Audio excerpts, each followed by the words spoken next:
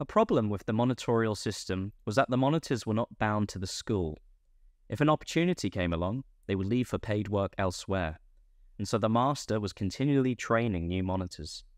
The solution to this was the introduction of the pupil teacher scheme in 1845.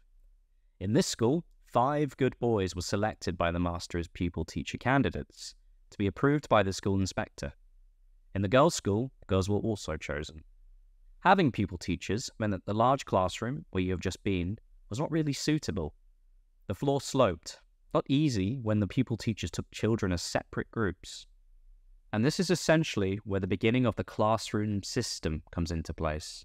And so the galleried classroom was built in 1853.